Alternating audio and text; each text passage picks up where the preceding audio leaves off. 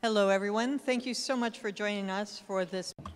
Merci beaucoup. Bienvenue à cette nouvelle séance sur les droits humains, sur la manière dont nous pouvons assurer une approche pour sauvegarder la dignité pour tous. Je m'appelle Peggy Hicks.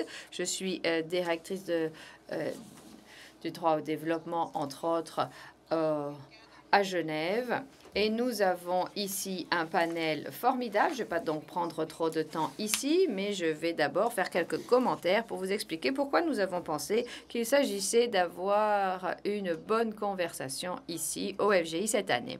Et cela commence par l'idée que le cadre des droits humains n'est pas simplement une obligation légale, ce qui est le cas, mais c'est également un outil extrêmement utile qui doit être débattu au Forum pour la gouvernance de l'Internet et partout ailleurs où l'on parle d'Internet, de nouvelles technologies et d'intelligence artificielle. Ce cadre de droits humains, c'est exactement cela, c'est-à-dire un document universel, une série de documents qui ont fait l'objet d'accords dans différents contextes, sur différents continents, et qui nous donnent énormément de ressources et de matières pour nous aider à orienter des questions très difficiles qui sont discutés, je l'ai beaucoup entendu dans différentes salles ici à Kyoto. Nous essayons de voir comment nous pouvons arriver à faire progresser ces conversations. Et bien sûr, il y a toutes les conversations éthiques qui sont souvent ramenées à cela, les questions de langue, d'éthique, mais le cadre des droits humains sont, est une réflexion de nos valeurs et de notre éthique, et c'est ainsi que l'on peut travailler avec toutes les parties prenantes dans tous les contextes et ce de manière efficace. Je voulais également mettre l'accent sur le fait aussi qu'il s'agit d'une conversation mondiale et parfois c'est difficile de voir cela reflété dans la réalité et pas uniquement dans le sentiment. Nous voyons toujours que les discussions sur certaines de ces questions tendent à être dominées par certaines régions, par certains secteurs, et que nous n'avons pas suffisamment entendu la voix de ceux qui vont et qui sont directement impactés par euh, ces nouvelles technologies. Et le cadre des droits humains nous permet de bien voir que l'on écoute les voix de ceux qui sont les plus touchés par les nouvelles technologies.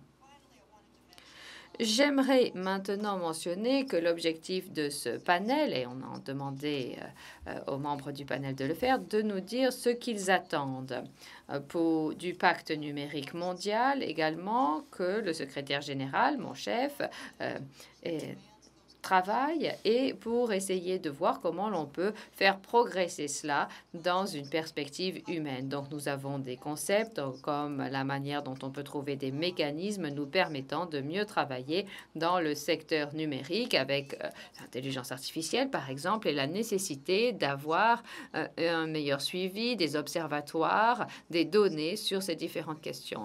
Et bien sûr, si l'on revient au cadrage de cette séance, il est important d'avoir une approche une perspective multipartite. Qu'est-ce que cela signifie? Eh bien, nous voulons une approche et une perspective qui n'apporte pas simplement une communication parce que cela est voulu, mais euh, parce que c'est important. Nous ne voulons pas simplement ouvrir les portes, nous voulons aussi avoir les ressources nécessaires pour que cela se produise. Exemple, la nécessité pour certains chercheurs d'avoir accès à certaines des technologies que l'on veut étudier de plus près. Il faut avoir la capacité informatique d'y arriver, les ressources pour pouvoir faire ce que les chercheurs et les universitaires ont besoin de faire. Donc voilà certaines des questions qui vont euh, encadrer la conversation que nous allons avoir. Nous avons euh, beaucoup de chance d'avoir ces membres du panel parmi nous. Je vais les présenter dans quelques instants. Nous allons entendre d'abord mes premières remarques avant de passer, je l'espère, à une séance de questions-réponses et j'espère qu'on aura un peu de temps aussi pour entendre des commentaires de conclusion. Alors, je vais maintenant passer à notre premier orateur. Nous en avons deux qui sont en ligne. Tout d'abord, le docteur Kamran Ushang Ashraf, qui est un lead droits humains à la Fondation Wikimedia et euh, à l'Université centrale européenne au département de politique publique. Nous allons l'entendre maintenant. Il est en ligne. Bonjour, vous m'entendez? Oui, très bien, merci. J'aimerais tout d'abord remercier les organisateurs, les modérateurs, les rapporteurs et tous les membres du panel. J'aurais bien aimé être avec vous, euh, mais euh, en je suis ici en ligne et je remercie également tous ceux qui sont sur place et ceux qui sont euh, euh, en ligne également. Je m'appelle Dr Kamrano Shangashraf, je suis Human Rights Lead. Euh, pour certains projets, nous offrons des infrastructures techniques et nous aidons des centaines de volontaires de par le monde à contribuer à Wikipédia. Je suis également professeur adjoint de euh, médias et de communication mondiale au département de politique publique à l'Université d'Europe centrale à Vienne. L'objectif de ce panel au sens large est de défendre les droits de l'homme à l'ère numérique. Et j'apprécie beaucoup le libellé parce que je crois vraiment que l'on a besoin d'arriver à favoriser et à sauvegarder la dignité humaine, même lorsqu'il y a des technologies. C'est un contexte qui n'est pas suffisamment discuté dans le domaine des droits humains et de la tech. Et l'un des l'une des difficultés lorsqu'on essaie de comprendre euh, ce que cela signifie, la dignité humaine en ligne, c'est qu'on ne sait pas vraiment ce qu'est la dignité humaine. Il y a beaucoup de diversification au niveau régional. Il y a beaucoup euh, d'influx. Les frontières peuvent faire une énorme différence sur les conceptions de la dignité, la question de la dignité au niveau individuel et la place de l'individu dans la société par rapport à la technologie, je crois, est euh, l'un des points saillants de cette décennie. Alors on me pose déjà des questions. Comment l'IA euh, va-t-elle enfreindre notre dignité? Que va faire l'IA et où est la dignité humaine lorsqu'il y a surveillance et censure de l'Internet? Euh, Quid des entreprises qui tirent leur profit de notre traçage sans notre consentement ou euh, le contenu prédictif qui s'appuie sur des états émotionnels déduits. Et que va-t-il se passer dans notre discours public lorsqu'il sera empoisonné par la désinformation? Alors, avec toutes ces questions qui se posent ici, on pourrait largement passer des heures là-dessus, c'est la question de la dignité.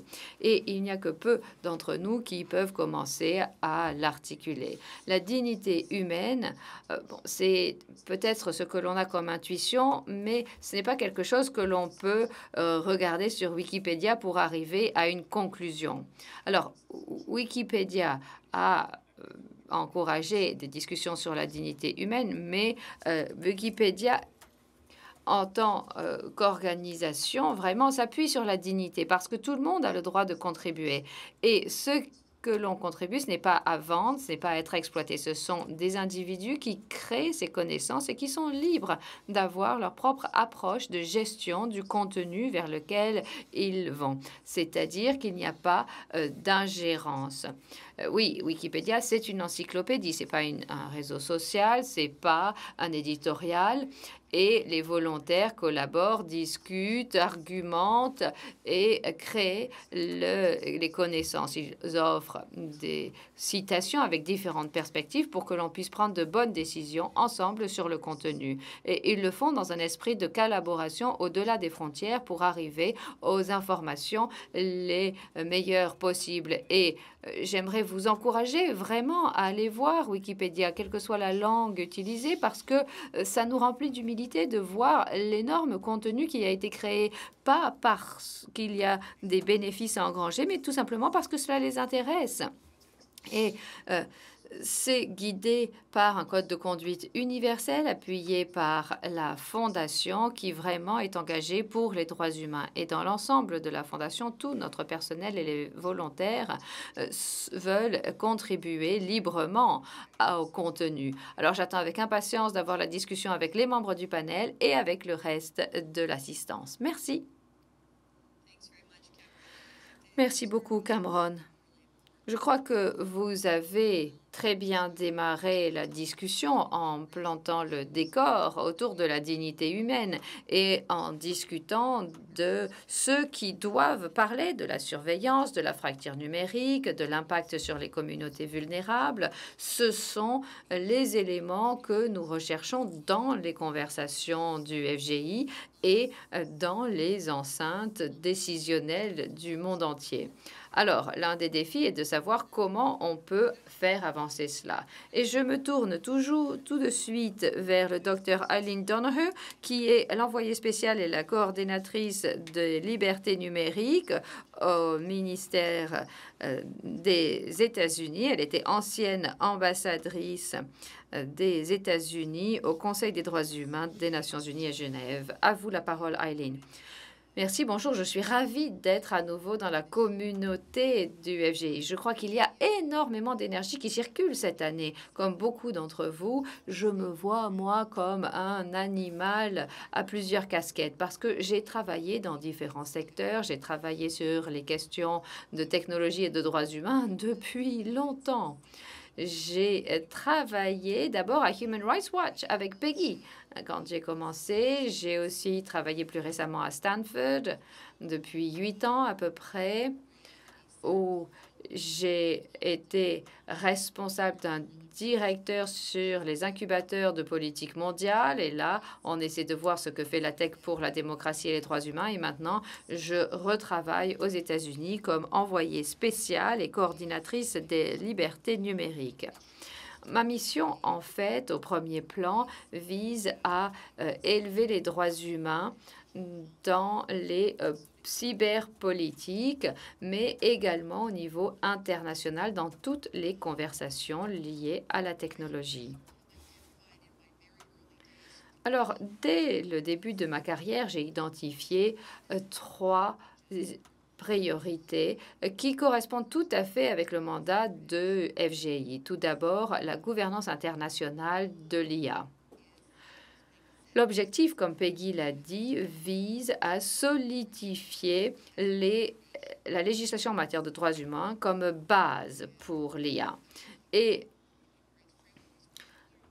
le cadre des droits humains est tout à fait adapté à la gouvernance de l'IA parce que lorsqu'on pense aux risques et aux conséquences de l'IA qui préoccupent les gens, la protection de la vie privée, euh, la non-discrimination, le traitement équitable, la surveillance accrue, la liberté d'association, la liberté de circulation, la liberté d'expression, euh, la liberté euh, d'information, tout cela se retrouve. Et puis, il y a aussi le revers de la médaille, c'est-à-dire l'inclusion et les avantages de l'IA. Et il y a un autre pendant à cela, parce que moi je suis un peu philosophe, je crois qu'il y a des questions existentielles posées par l'IA. Euh, au niveau de la centralité de l'être humain dans l'avenir de la gouvernance et l'avenir de la société. C'est ça le point important. Pour toutes ces raisons-là, le cadre des droits humains est vraiment important et répond à ces défis. Je dirais également que euh, contrairement à d'autres cadres normatifs, il a le statut euh, contraignant partout, juridiquement contraignant partout sur la planète. Et pour toutes ces raisons, je crois donc que c'est un cadre qui est tout à fait adéquat pour la gouvernance de l'IA. Alors, ce que j'aimerais dire face à tout le monde ici, et beaucoup d'entre vous se rappelleront qu'en 2012, on a eu la première résolution des Nations Unies sur la liberté de l'Internet qui a jeté cette base fondamentale disant que les droits humains s'appliquaient en ligne euh, aussi bien que dans le monde réel. À, ce moment-là, on voyait bien que c'était deux mondes séparés, mais maintenant tout a fusionné. Je crois qu'on doit faire la même chose pour la gouvernance internationale de l'IA, parce qu'on voit cette prolifération de cadres de gestion de risques, de lignes directrices éthiques. Parfois, on utilise les mêmes termes qui signifient différentes choses, parfois on utilise d'autres formules, et il y a beaucoup de gens qui rédigent ces cadres, qui sont des gens super intelligents, qui ont énormément de connaissances, qui comprennent la technologie, mais qui sont trop peu exposés à ce qui se passe au niveau international. Et c'est justement l'objectif de cette communauté, c'est de défendre ce cadre. On a une fondation et à partir de là, on peut construire un édifice pour la gouvernance de l'IA. Deuxième priorité, l'inclusion numérique au sens pluridimensionnel. Évidemment, cela commence avec la connectivité. Ça, c'est la base pour tout le monde. Euh, cette communauté le sait bien. Il y a 2,6 milliards de personnes sur la planète qui n'est toujours pas connectée et ça doit être une priorité mais l'inclusion significative et pluridimensionnelle, il nous faut nous concentrer sur l'inclusion des données, ça c'est directement lié à l'égalité de protection des droits. Euh, aussi les l'inclusion euh, au niveau de la production d'informations, au niveau euh, de, euh, comme Wikimedia d'ailleurs, l'inclusion dans la communauté de programmation, dans la communauté de gouvernance et l'inclusion dans les décisions sur les utilisations que l'on fait de l'IA. Et pour toutes ces raisons, j'ai le sentiment que ce concept pluridimensionnel d'inclusion sociale et d'inclusion numérique signifie d'abord la connectivité de base, mais ce n'est pas tout. Sur ces 2,6 milliards de personnes qui ne sont pas connectées, les femmes et les filles en représentent la majorité. Et c'est un fait qui euh, est sous-représentés. Et on me l'a dit ici au D-1, hein, la première journée du pré-programme. On parle de la euh, fracture genrée, on parle de la fracture numérique, mais en fait, c'est la même chose. Et il faut en parler plus. J'ai l'impression que les femmes et les filles seront probablement bien moins incluses dans les autres euh, couches, c'est-à-dire au niveau des données, au niveau des programmes d'éducation numérique, etc. Donc il faut vraiment insister sur la dimension genrée. Et puis il y a euh, l'intégrité de l'information, c'est le troisième point. Et c'est un sujet important parce que nous devons toujours faire attention à ne pas miner la liberté d'expression lorsqu'on essaie d'arrêter l'érosion de l'intégrité dans le monde de l'information. Et personne encore euh, réussi à voir comment on pouvait y arriver. Mais c'est une priorité. Les gouvernements du monde, les acteurs de la société civile euh, s'engagent de plus en plus sur la question des dimensions pratiques. Et nous venons juste de participer avec à une déclaration mondiale canadienne et euh, néerlandaise sur l'intégrité de l'information au niveau de l'Assemblée générale des Nations unies. Et j'ai pu tout à fait appuyer cette initiative et son excellent contenu. Ça doit être une base de conversation. Et puis maintenant, il faut penser au cycle de vie du FGI. Je crois que les gens qui sont ici euh, connaissent mieux la gouvernance multipartite, mais il faut rehausser la barre encore plus. Et qu'est-ce que cela signifie lorsqu'on a les différentes couches et les différents secteurs? Cela, on ne l'a pas encore bien déterminé. Et puis, dernier point, ce panel est cadré par deux choses. Tout d'abord, le fondement des droits humains, la dignité humaine, le contexte numérique, et de l'autre côté, les processus multipartites et comment on peut les faire progresser. Ce ne sont pas des choses séparées. N'oublions pas que le processus a un impact sur la substance, sur le fond. Un processus multipartite nous permettra de protéger les droits humains. Voilà, je vais m'arrêter là. Merci, euh, Aileen. Oui, vous avez très bien présenté le sujet. J'ai beaucoup apprécié ce que vous avez dit aussi sur la multiplicité des cadres et la mesure dans la manière le cadre des droits humains peut euh, aussi ancrer ces différentes initiatives nationales. On ne doit pas s'en écarter, mais il faut les regrouper pour que l'on ne soit pas éparpillé un peu partout. La question genrée, moi, ça fait un jour et demi que je suis là et je n'ai pas suffisamment entendu parler de la dimension genrée, donc je suis ravie que vous l'ayez mentionné. Et puis, il y a une remarque sur la manière dont on peut avancer au niveau de l'inclusion numérique. C'est crucial et on en reparlera avec les autres orateurs. Maintenant, nous allons entendre le professeur Peter Kirchlager, qui est directeur à l'Institut d'éthique sociale à l'Université de Lucerne. Euh, Peter, nous nous sommes déjà vus. On se retrouve maintenant. À vous la parole. Merci beaucoup, Peggy. J'aimerais remercier également les organisateurs de m'avoir invité ici. Moi, je suis professeur d'éthique. Je me concentre sur l'éthique de l'intelligence artificielle. Et comme l'a dit Peggy, moi, j'aimerais me concentrer sur la construction du pont entre les droits humains et l'éthique. Lorsqu'on parle des droits humains dans la perspective de l'éthique, il est crucial de commencer par des normes minimales de droits humains permettant aux gens de survivre et de vivre une vie en toute dignité. Et ça, c'est très important pour l'ensemble de la chaîne de valeur liée à l'IA. Ce qui est intéressant également, c'est que l'on peut observer des idées convergentes. Lorsqu'on regarde différents processus, on voit par exemple ce qui s'est passé au niveau du FGI, et au niveau du Conseil consultatif sur le multilatéralisme plus efficace. Il ne faut pas oublier les consultations qui ont lieu dans le cadre du pacte numérique mondial, mais également le message du secrétaire général des Nations Unies, mais également les déclarations cet été euh, des, du euh, Conseil de sécurité des Nations Unies, ainsi que la toute dernière résolution du Conseil des euh, droits humains des Nations Unies et les déclarations du euh, Haut Commissaire des Nations Unies aux droits humains qui ont des idées convergentes. D'abord, il nous faut un cadre réglementaire et deuxièmement, ce cadre réglementaire doit s'appuyer sur les droits humains. Et troisièmement, il y a des idées convergentes disant que nous avons besoin d'une entité au niveau des institutions des Nations Unies qui s'occupe de la euh, mise en œuvre effective de ce cadre réglementaire. Cette réalité que nous avons d'idées convergentes se concentrant sur un point important, ça montre bien que nous avons déjà progressé dans la discussion sur l'IA. Ce consensus ayant trois caractéristiques.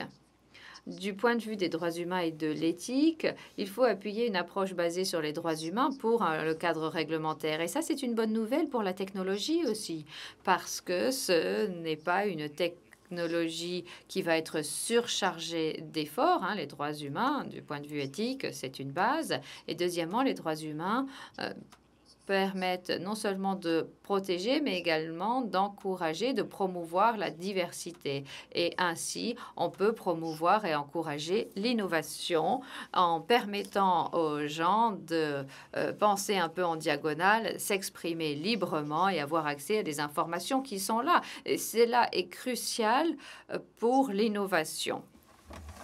Et puis maintenant, concernant euh, la nécessité pour les Nations Unies de s'occuper de cette question existentielle de l'IA et de la manière dont elle est utilisée à échelle internationale, y compris le potentiel extrêmement positif que l'IA peut avoir, que l'IA peut avoir pour l'humanité, pour l'ensemble du monde, mais également des risques qui sont posés par cette technologie.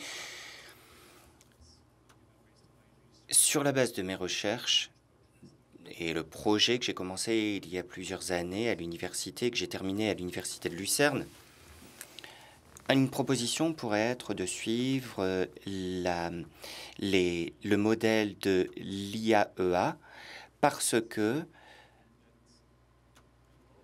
je pense que à la fois la technologie nucléaire et l'IA ont une nature double. Tous les deux ont un potentiel positif ou négatif. Alors je simplifie à outrance, mais pour l'énergie nucléaire, on a fait la recherche, puis on a créé la bombe atomique, et malheureusement, on a utilisé plusieurs fois cette bombe, et on a euh, compris en tant qu'humanité qu'il fallait faire quelque chose à ce niveau. Et on a créé euh, l'Agence de l'énergie atomique aux Nations Unies pour s'occuper de euh, ce problème. Et bien évidemment, je comprends que ce n'est pas parfait, il y a des conséquences politiques, je ne suis pas naïf, mais il faut, il faut reconnaître quand même que l'Agence de l'énergie atomique a pu travailler sur certains points avec différentes parties prenantes. Et c'est la raison pour laquelle je voudrais euh, suivre ce modèle également dans le cadre de l'IA pour créer donc euh, l'Agence internationale de l'intelligence artificielle pour d'abord se concentrer sur l'identification d'abord donc des opportunités positives que l'intelligence artificielle nous propose. Ensuite, identifier également, bien évidemment, les risques potentiels. Et enfin, pour augmenter la coopération, la collaboration, les échanges techniques, les échanges technologiques euh, de manière fructueuse, telle que nous le voyons également ici au FGI. Et bien évidemment, pour bénéficier de l'ensemble des initiatives dans ce domaine, pour les rassembler, pour essayer de euh, voir les différentes approches des parties prenantes, les approches multilatérales, parce que du point de vue déontologique, il y a différents euh, avantages à ce niveau. Et au bout du compte, pour s'assurer que l'ensemble des êtres humains puissent bénéficier de l'intelligence artificielle et que la planète elle-même puisse faire de même. Merci beaucoup. Merci beaucoup, Peter. je pense que vous avez fait quelque chose qui n'est pas si simple, c'est de nous fournir une perspective optimiste de la situation actuelle. Nous avons un consensus concernant les besoins et dans un sens général des différentes voies qui s'offrent à nous, mais il y a différentes questions. Et je pense que votre commentaire ainsi que celui de Eileen concernant l'intégrité de l'information nous dirige vers le fait qu'il faut faire passer la discussion au niveau supérieur. On a identifié ces questions d'ordre complexe, on a compris qu'il n'y a pas de recette magique, de boutons à appuyer qui, euh, de manière magique, euh, régleront la situation, mais qu'il faut étudier les différents besoins. Par exemple, concernant l'IA de manière complexe, l'idée est convaincante que on peut on ne peut pas s'attendre à ce qu'une seule et même institution puisse tout réaliser. Mais l'idée que vous nous avez euh, proposée de créer un observatoire ou d'avoir véritablement un organe réglementaire qui puisse nous fournir euh, le, suivi basé sur des données probantes euh, est, est, intéressant. Je passe maintenant à la parole à Mallory Brodol. qui a énormément d'expertise et je suis persuadé qu'elle va nous faire part de perspectives très intéressantes. Elle est responsable de la technologie au centre de la démocratie et de la technologie. Merci beaucoup, merci de m'avoir invité. Je voudrais d'ailleurs parler de certains des travaux que nous avons faits avec euh, mon centre. Ma réponse est la suivante, un petit peu plus large que ce que fait la communauté du FGI. Je pense, et d'ailleurs je regarde au plafond, il y a toute une constellation de forums qui gouvernent l'Internet et qui font différentes choses. Maintenant, on n'inclut plus seulement l'Internet, mais l'intelligence artificielle. Et tout est censé être rassemblé ici au sein du FGI où nous présentons, partageons, où nous analysons de manière transversale ces différentes questions. Et lorsque je réfléchis à ces différentes questions, je pense à ce paysage d'ordre plus large, même si euh, tout se retrouve ici je voudrais euh, réaffirmer ce que les autres ont déjà dit, à savoir que ce n'est pas un panel sur la déontologie, il s'agit des droits de la personne. C'est l'un des mécanismes les plus puissants pour parler des questions sociales les plus urgentes aujourd'hui. L'un de mes collègues dit toujours que euh, les droits de la personne sont la gouvernance avec euh, du mordant. Euh, et elle le dit régulièrement et elle l'applique euh, dans tous les domaines lorsque l'on parle de gouvernance de la technologie. Et étant donné que c'est un sujet compliqué, un paysage complexe, il peut être intéressant de prendre une petite seconde pour euh, en prendre acte et comprendre ce que font les différentes parties prenantes, quelles sont les relations avec les droits de la personne et quels sont les rôles et responsabilités. On sait aujourd'hui que les États sont redevables sont obligés, sont, engagés vis-à-vis euh, des, euh, des droits de la personne. Qu'en est-il des différentes parties prenantes? Étant donné que j'ai travaillé dans ce domaine depuis, depuis le tout début de ma carrière en tant que représentante de la société civile, c'est vraiment la vision, la mission de la société civile, par essence. C'est la raison pour laquelle nous sommes ici. Mais ensuite, il y a également le milieu universitaire qui joue un rôle important. Mais là où je joue le où je travaille le plus, c'est la communauté technique. Et je ne suis pas sûr d'avoir effectivement euh, euh, décidé de ce que de ce qu'est la relation de la communauté technologique avec ce sujet. le HCR indique actuellement qu'il y a différentes manières de mécaniser les discussions des droits de la personne au sein de la communauté technologique pour soutenir la discussion. Mais on n'a pas encore mené de discussion philosophique concernant à quoi servait la communauté technologique ou quel était le cadre des droits de la personne. Alors, la communauté technique est composée de différentes euh, parties prenantes. C'est les États et le secteur, et de plus en plus des membres de la société civile, mais pas tellement. Et puis, il y a également la question de savoir euh, si, bon, il y a les États qui sont redevables vis-à-vis de la population, s'il y a des sociétés qui le sont aussi, pourquoi est-ce que la communauté technique ne parle pas déjà des droits de la personne? Pourquoi est-ce qu'elle n'était pas déjà incluse? Peut-être que c'est parce que c'est plus pratique de parler de la technologie que de parler des problèmes euh, forts et durs, euh, ou c'est peut-être plus simple de cette manière. C'est peut-être également euh, la terminologie de parler de produits, de production, c'est une autre manière de travailler sur ce point. Quand j'ai commencé à m'engager auprès de la communauté technologique, je me suis euh, vu forcé à constamment rappeler les droits de la personne. Et finalement, j'ai dû faire des compromis, disant il y a une possibilité de conception ici, mais il y en a une autre là. Essayons de parler des compromis, plutôt que de dire cette euh, solution est meilleure parce que c'est meilleur pour la solution, pour la liberté d'expression. Euh, je pense qu'on a fait des progrès. Alors qu'il y a de plus en plus de défenseurs des droits de la personne, la communauté technologique euh, est plus ouverte. Il est plus simple de lui parler en disant c'est l'objectif ultime parce que les droits de la personne seront meilleurs avec cette conception-ci. Euh, mais effectivement, c'est un sujet qui reste compliqué et c'est un sujet qui reste important. Il faut continuer à s'engager, continuer à en faire davantage. Pas seulement parce que euh, il faut transformer les discussions en théâtre politique, mais parce que, comme mon collègue l'a dit, ce sont les gros problèmes. Quand on caractérise les problèmes de la technologie, à la racine même, c'est l'essence même, euh, on, on parvient à la, à la réponse plus facilement, plus rapidement. Et même si ça peut être compliqué pour les personnes qui ne sont formées qu'au niveau scientifique, ça n'est toutefois pas impossible. Ça n'a pas été impossible pour la physique, pour la, chimie, c'est pas possible, c'est pas impossible non plus pour euh, des, des, des ingénieurs. Je pense que je devrais terminer ici ou bientôt, mais je voudrais cependant dire que au niveau substantiel, l'une des questions que j'ai vues passer d'un forum à l'autre, euh, c'est la censure et la résilience, la résistance de l'Internet.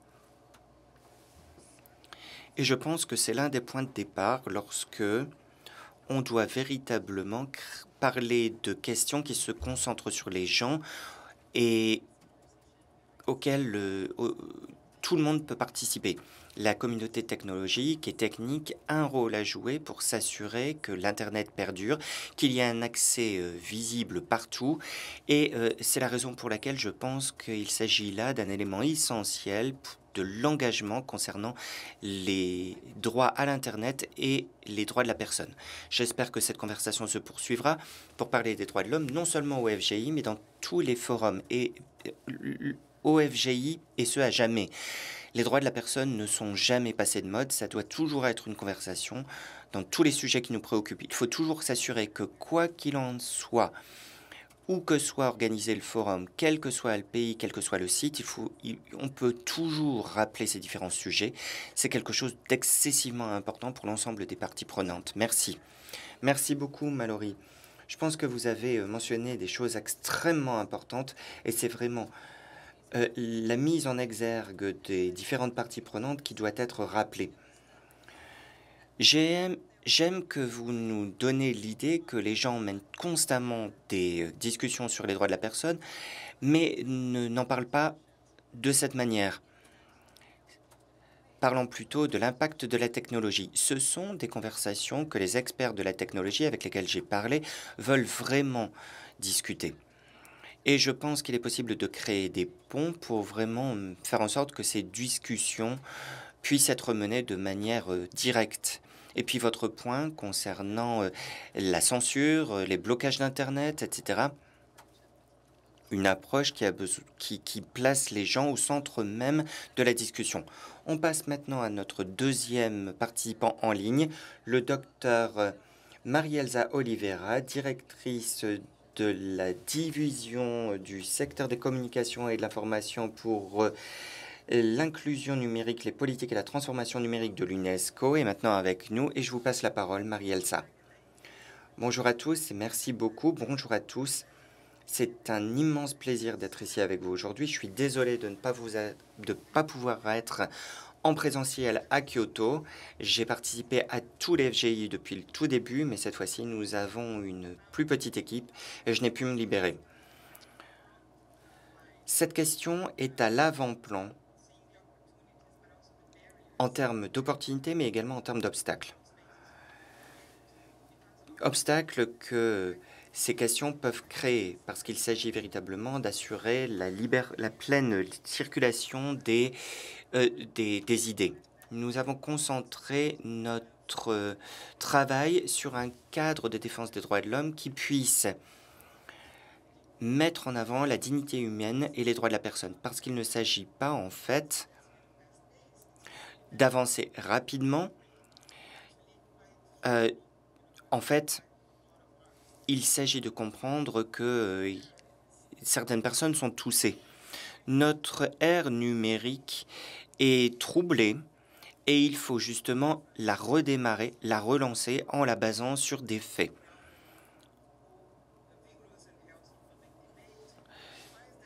Avoir un débat public vigoureux signifie qu'il faut pouvoir défendre la liberté d'expression et l'accès à l'information partout mais en raison des problèmes qui sont créés surtout en ligne. Les sociétés doivent comprendre de nouveau la valeur de la connaissance et du partage. Et il faut comprendre que ces organes de partage des informations, les milieux universitaires, les instituts de recherche, euh, ont des intérêts dans les médias. Et le FGI, en tant que mécanisme, a beaucoup à apporter au niveau de cette discussion. Nous jouons un rôle majeur pour encourager la coopération internationale et pour façonner l'avenir numérique des droits de la personne. Parce que nous travaillons à renforcer les normes et les cadres réglementaires basés sur les droits de l'homme, sur la base desquels les écosystèmes sont développés. L'année dernière, nous avons lancé la conférence euh, sur les droits à l'Internet pour étudier cette plateforme et ce mois-ci, nous lançons nos directives qui sont au centre de ce type de réglementation, surtout en ce qui concerne la reddition de comptes, la responsabilité qui manque dans ces écosystèmes numériques. Les réglementations et les normes sont une manière de protéger les biens publics et encouragent l'investissement parce que en créant des euh, champs de jeu, des terrains de jeu sur un terrain d'égalité. On voit que certaines personnes sont à l'avant-plan de la transformation numérique. Je suis engagé au niveau de la mise en place de la réglementation d'espaces euh, numériques, surtout au niveau de l'intelligence artificielle, parce que on voit le besoin de tout cela. Ces efforts, cependant, doivent être complétés par des normes et des directives qui facilitent la collaboration entre les différents acteurs du gouvernement, euh, du secteur privé, de la société privée, de civile et donc des multiples parties prenantes. Nous avons créé des normes au niveau de, du monde numérique et nos recommandations, transparence, euh, science et données ouvertes, les effets de l'intelligence artificielle, euh, la formation des enseignants, etc. Ce sont des instruments, instruments qui encouragent l'innovation en encourageant les droits de l'homme et la reddition de comptes. C'est de cette manière que nous nous sommes fixés notre travail. Deuxième piste que nous rappelons toujours, c'est le renforcement des institutions et des systèmes qui peuvent permettre les progrès au niveau des questions de numérisation. Il est important de développer des capacités afin de rationaliser le potentiel et faire face aux différents problèmes posés par les plateformes numériques. Et nous avons établi un, des priorités pour ces différents groupes, pour ces actions, ces mesures, pour avoir l'impact le plus profond. Par exemple, les législateurs et les fonctionnaires, surtout les opérateurs du judiciaire, étant donné qu'ils ont un rôle à jouer pour façonner l'environnement où les écosystèmes numériques sont développés, les éducateurs, qui sont responsables de transmettre le savoir nécessaire pour le XXIe siècle, les différentes personnes qui mènent ces processus à échelle internationale. Et nous valorisons beaucoup la collaboration, le partage du savoir entre les différentes parties prenantes et euh, l'encouragement des idées pour s'engager au niveau des meilleures pratiques et des réglementations et la conversation autour des droits de la personne. Mais même en soulevant les compétences des utilisateurs de ces écosystèmes et de ces plateformes, l'alphabétisation numérique est essentielle pour créer une pensée critique, pour créer euh, du savoir, des attitudes qui nous permettront véritablement de, trouver la valeur de ces écosystèmes numériques et d'éviter les pièges qui sont semés euh, par euh, les discours de haine, les, les, idées de conspiration, etc. Et les enjeux sont très importants. Il faut véritablement rassembler les différentes conversations d'une manière plus générale autour du FGI et autour des écosystèmes numériques, surtout alors que nous avons tellement de changements de gouvernance, par exemple avec euh, le SMSI euh, plus 20, Euh, le pacte numérique qui arrive, les différents mécanismes tels que les organes concernant l'intelligence artificielle qui sont euh, en cours d'élaboration, c'est de cette manière que nous pourrons véritablement mener nos travaux. Merci. Merci beaucoup. Voilà une perspective d'une grande utilité et qui nous ramène à, ce que disait Cameron sur l'importance de l'information et des données, deux éléments essentiels pour la conversation. Et je voudrais aussi rappeler ce que dit Marza au sujet des capacités humaines, des institutions et des structures et de la nécessité de renforcer la capacité à faire face à ces enjeux dans le contexte de la société humaine. Et je suis certaine que d'autres membres de notre groupe euh, auront des avis sur ce sujet. Je vous remercie de votre patience. J'ai encore deux intervenants, Frédéric Gaski, qui est responsable en Asie-Pacifique. Et d'après mes notes, vous êtes également un grand euh, amateur de musique électronique, chef de la politique euh, humain, droit humain, méta en Asie-Pacifique. Merci. On peut en parler de la musique électronique en ligne si vous le vouliez. Bon, c'est dur d'être sixième ou septième dans une conversation sur les atouts et les inconvénients. Euh, quand on arrive en fin de parcours, euh, on sait dans quelle direction évolue la conversation, mais j'ai tellement de notes que je ne sais pas dans quelle mesure ce que je voulais dire est pertinent. Je voudrais d'abord remercier le FGI qui nous donne l'occasion, et je vous prie de m'excuser pour la qualité de ma voix. J'ai perdu la qualité de ma voix habituelle. J'ai rejoint l'équipe euh, de politique droits humains l'année dernière en juillet, après avoir placé plusieurs décennies euh, dans le domaine de la société civile universelle. J'ai travaillé pour le commissaire aux droits humains. Et dans mon rôle actuel en tant que chef Asie-Pacifique pour euh, la politique droits humains, je fais partie de l'équipe mondiale et mon rôle, c'est de nous impliquer régulièrement de manière consultative, multi-partie prenante. Mais bon, j'ai donc rejoint ce, genre de conversation en tant que partie externe, en tant que tiers. Et j'étais sceptique quant à la mise en place d'une démarche de droits humains dans, dans, dans l'entreprise. Mais je dois dire que je réalise entre-temps à quel point euh, on, a, on, a, pu euh, vraiment gérer les enjeux et surmonter les enjeux. Il y a encore beaucoup de pain sur la planche depuis l'adoption de notre, en mars 2021 sur la, la politique sur les droits humains. Nous avons essayé de faire preuve de cet engagement, pas juste d'en parler. Et il y a des éléments sur lesquels nous sommes allés de l'avant. Nous avons mis en place une équipe droits humains, adopté la politique droits humains, lancé le conseil de surveillance euh, qui euh, a notre principe comme base, créer un fonds pour les droits humains, euh, créer un engagement par rapport aux exigences excessives des gouvernements. On a d'autres institutions, on publie deux rapports sur les droits humains par an. Voici le plus récent.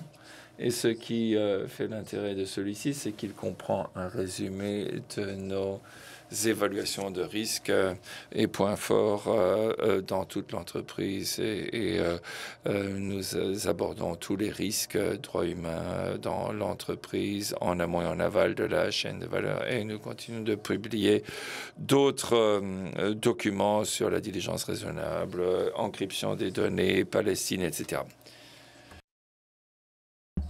Au cours de ces dernières années, nous avons renforcé notre interaction avec le pacte numérique mondial, euh, engagement euh, envers euh, les Nations Unies, l'UNICEF, le HCR, le Bureau du représentant spécial pour la prévention des génocides, bon nombre d'autres rapporteurs spéciaux.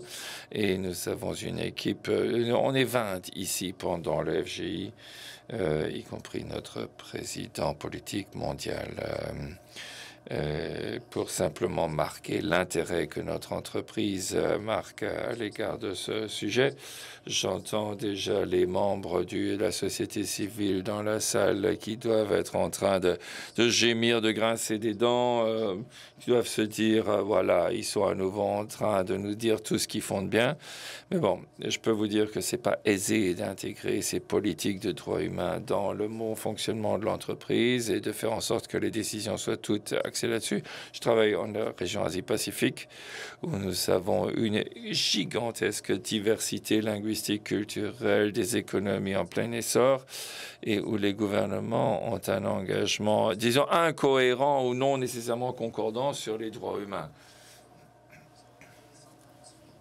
Et donc, quelquefois, il peut sembler difficile, euh, euh, d'une part, euh, satisfaire les exigences de la réglementation nationale, mais aussi d'encourager le respect des droits humains à l'international.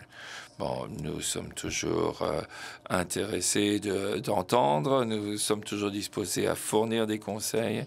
nous ne voulons pas et ne pouvons pas élaborer nous-mêmes des cadres et donc nous appuyons les efforts des Nations Unies qui encouragent la mise en place de, ces, de ce cadre mondial.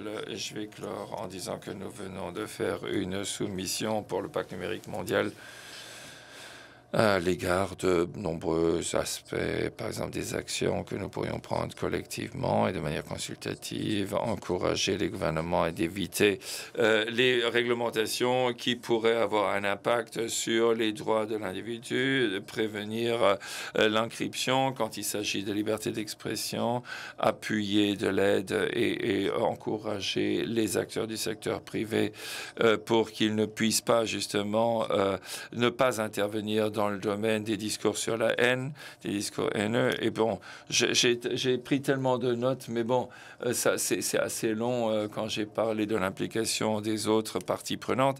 Euh, je pense que dans mon rôle au sein de Meta et venant de la société civile et de l'organisation internationale, je vois qu'il y a encore une grande lacune en termes de compréhension de la part des parties prenantes, de certaines parties prenantes. Bon, les échanges se font en permanence sur les droits humains, mais ils ne sont pas nécessairement adoptés en termes de droits humains, de, discours de droits humains, de textes sur les droits humains, et tout ça n'est pas encore contextualisé suffisamment dans le contexte du cadre des droits humains. L'autre enjeu à ce titre est maintenant que je vis parmi des ingénieurs et que euh, avec des, concepteurs de soft et, des, vendeurs de services informatiques. Il s'agit de traduire tout ceci en, mesures concrètes. Par exemple, un plan d'action. Qu'en est-il du plan d'action? Euh, Comment ce plan d'action peut-il être mis en œuvre en termes politiques? Et comment faire en sorte que ce discours-là et cet énoncé-là puisse être justement encodé, compris par des ingénieurs et compris par des gens qui travaillent dans l'entreprise et qui impacte le, travail de l'entreprise. Et puis l'autre élément, c'est le concept du risque. Je n'arrête pas de parler de risque avec les gens. Tout le monde comprend. Il y a des, risques juridiques, il y a des risques politiques, il y a des risques d'entreprise et des risques pour les droits humains. On parle souvent de choses similaires, mais on leur donne des euh, évaluations différentes, des équilibrages différents. Différentes parties des entreprises, des gouvernements agissent de manière différente. Je pense qu'on pourrait peut-être euh, avancer dans l'élaboration d'une vision partagée. Qu'est-ce qu'on dit quand on, euh, à quoi pense-t-on quand on parle de, de risques pour les droits humains? Et, qu'en est-il de, des transversales qu'il faudrait mettre en place, des passerelles qu'il faudrait créer euh, entre la compréhension, l'atténuation des risques et les cadres que nous voulons mettre en place Je vais m'en tenir à cela et merci beaucoup une fois de plus de nous donner l'occasion d'intervenir. Merci. Merci, Frédéric. La perspective de l'entreprise est toujours appréciée. C'est toujours bon de savoir que vous soyez disposé à venir et nous expliquer ce qui compte et quels sont les domaines où il y a encore moyen de, la marge d'amélioration et euh, les, cadres d'évaluation des risques. ça, c'est quelque chose qui est très intéressant, dont on parle souvent. Et euh, c'est bon de pouvoir justement un peu mieux saisir ce que disait Mallory également, mettre, créer quelque chose de, qui, qui gravite autour des êtres humains mais bon, heureusement, nous avons parmi nous un dernier membre de notre panel euh, qui a fait preuve de grande patience. Nous avons hâte euh, d'entendre son interview. Benga Sessan, euh, directive exécutive de l'Identity Paradigm et membre du leadership panel de FG. Merci beaucoup. On parle des droits humains, des processus multipartis et je pense que le moment est opportun de dire très clairement que on ne peut pas avoir des conversations multiparties prenantes si toutes les parties prenantes ne peuvent pas se retrouver autour de la table. C'est hypocrite, dans le meilleur des cas, de dire euh, qu'on euh, lance des échanges euh, multiparties prenantes sur les droits humains, alors que justement tout le monde n'est pas autour de la table. On a 23 ans, c'est bon, mais bon, c'est pas juste au FG et avant FG et dans de nombreux processus internationaux, on retrouve la même histoire. vous n'imaginez pas à quel point c'est déshumanisant de se trouver devant un chargé de visa pour défendre et de défendre son savoir-faire et son expertise. Ça ne devrait même pas se présenter parce qu'on va contribuer à une conversation et on n'essaye pas de faire autre chose. Je pense que c'est important pour nous de le dire et de dire que ces échanges doivent se poursuivre. Et je pense que si vous accueillez le, FGI ou quelque chose de mondial, ça doit être mondial. Et si c'est mondial, il faut ouvrir ses portes aux parties prenantes pertinentes. Et je sais que ça fait partie euh, d'un autre débat, mais on ne peut pas faire semblant que ce soit pas un problème. On ne peut pas se voiler la face. Et quand on parle maintenant de processus mondiaux, que ce soit le, processus euh, JDC ou autre, euh, donc, donc, mondial ou autre, on a des données, on a des énoncés, on, sait des, on connaît des histoires, on connaît euh, des, des, versions, euh, des violations de droits humains, de la société civile. Et je pense que c'est important de nous saisir de ces informations, d'en faire quelque chose de positif et d'améliorer les processus. Parce qu'une fois qu'on lance ces conversations, c'est qu'on constate qu'il y a des gens qui vivent cette expérience et on ne peut pas les ignorer. Et ces expériences vécues nous permettent de comprendre quels sont les On n'a pas besoin de lancer une enquête pour comprendre certaines des violations qui se passent.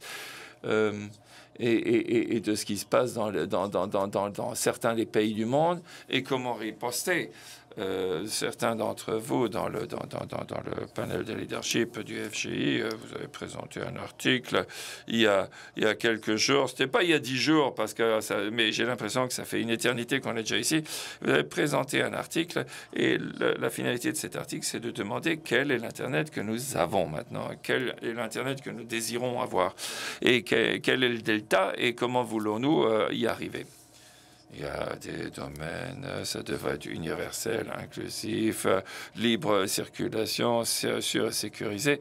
Mais le cinquième élément est important, mais ça doit aussi respectueux des droits. Et respectueux des droits. Je veux simplement me concentrer sur un petit, une petite partie de ça. On a dit les 2,6 milliards de gens qui ne sont pas connectés. Et je voudrais qu'ils soient connectés. Je dis aux gens que l'affaire de ma vie, l'histoire de ma vie a été possible grâce à un email. Et ça, c'est la puissance d'Internet. Donc il y a 2,6 milliards de gens dans le monde, mais n'oubliez pas qu'il y a également des gens qui sont déconnectés et je veux le souligner parce qu'on parle de droits humains, il y a des gens dont les gouvernements qui, ont fait en sorte que ces gens soient déconnectés. Et en raison de leur déconnexion, on les compte parmi les connectés. Alors, euh, alors qu'ils sont déconnectés. Et là, ils devraient faire partie des, 2,6 milliards. Et bon, c'est bon qu'on ait eu une déclaration aujourd'hui. Ce n'est pas une conversation qu'on devrait avoir en 2023, mais une fois de plus, les choses sont telles qu'elles sont et on sait vers où on doit aller. Et finalement, je dois dire que les processus politiques euh, mondiaux ne sont pas pour les extraterrestres, ils sont pour les humains. Et donc, euh, ce sont des humains qui doivent décider. Ça doit tourner autour de la dignité humaine. Les États ont l'obligation euh, de, faire en sorte que les principes des droits humains soient mis en œuvre. Les sociétés civiles doivent s'engager, lancer des plaidoyers. Euh, et le secteur privé, et pour le secteur privé, il est très clair, certainement, vu les problèmes Covid en 2020 maintenant, il apparaît très clairement pour bon nombre d'entreprises que les droits humains sont bons pour le business. Euh, quand les gens s'expriment plus librement, ils vont utiliser la technologie et ils vont se, lancer dans les plaidoyers. Donc, je me félicite des questions qui vont être posées et de cette conversation qui va se poursuivre sur cette question des droits humains et sur le reste pour faire en sorte que tout le monde, tout le monde, et je mesure mes mots, se retrouve autour de la table et n'ait pas de difficultés ou d'entraves imposées par des pays. Merci beaucoup, Gbenga. Ça, ça valait vraiment la peine d'être attendu. Ça, c'était une intervention. Je vais reprendre le premier élément. Qui est dans la salle Qui est présent Parce que ça, c'est un sujet récurrent. C'est l'arlésienne. On en parle tout le temps. Euh, on veut une perspective mondiale mais on n'y parvient pas et on voudrait y parvenir. Et ça pose une question fondamentale de savoir comment on va populer, peupler tout ça, comment est-ce qu'on va compléter tout ça. Tous les gouvernements disent qu'ils sont engagés, mais que voulez-vous euh, pour que ce forum soit couronné de succès? Et ça, c'est important pour nous toutes et tous. Cette idée de participation Bon, il ne s'agit pas simplement d'ouvrir la porte et de faire une faveur à, ceux qui ont envie d'être là. C'est simplement une nécessité de donner la voix et donner la voix au chapitre à tous ceux qui ont quelque chose à dire, qui veulent dire quelque chose et qui veulent participer à ce genre de débat. Bon, ça fait trop longtemps que je parle, euh, mais j'apprécie énormément tout ce que vous avez dû dire sur l'arrêt des services Internet. Euh, et ça, c'est quelque chose dont on avait déjà parlé l'année dernière. Maintenant qu'on a terminé le tour euh, des interventions, je me demande s'il y a des questions dans la salle que nous pouvons poser euh, à notre groupe. veuillez vous approcher des microphones, essayez d'être relativement concis pour que nous ayons le temps de donner au plus grand nombre l'occasion d'intervenir. Allez-y, nous avons une première une première euh, question dans la salle. Bonjour. Euh, Carolyn Tuckett. Je travaille pour Access Now, organisation qui euh, veut défendre les intérêts de ceux qui cherchent à se connecter dans le monde. merci de vos interventions. Vous parlez d'un accès utile à ces espaces on doit entendre tout le monde et ceux qu'on doit entendre le plus doivent pouvoir s'impliquer, participer. Et je ne pense pas que euh, on parvienne vraiment à atteindre l'objectif fixé si tout le monde ne peut pas participer. Je veux simplement reposer la question au groupe et peut-être à vous, Gbenga, pour reprendre ce que vous veniez de dire à l'instant, mais ce serait bon euh, de savoir ce euh, ce qu'en pensent les autres. Euh, le prochain lieu d'accueil du, FGI, est-ce que l'Arabie Saoudite, est-ce que c'est compatible avec tout ce qu'on a entendu dire? Et il s'agit de comprendre où on en est à ce cycle du du FG. On est à la fin du processus SMSI plus 20, euh, où on est autant euh, du processus multipartie prenante? Qu'est-ce que ça signifie pour faire venir ces gens-là en sécurité dans l'espace de l'Arabie saoudite? Où est-ce que ça nous mène? Merci beaucoup. On va poser des questions d'abord et on redonnera la parole au groupe. Merci beaucoup. Tout d'abord, je voudrais saluer le fait que cette conversation se déroule sur la dignité humaine et les droits humains. Je m'appelle Michijuma Boko, je suis une membre du Parlement, une parlementaire du, euh, de Kenya, et je voudrais parler au nom de la communication où je suis à la commission. Euh, comment allez-vous aborder la crainte que l'IA puisse euh, créer la perte d'emploi même si ça va créer des emplois dans le domaine de la recherche. Moi, j'imagine un scénario où un emploi qui pourrait être réalisé par dix chercheurs peut être mis en place par une seule application d'IA.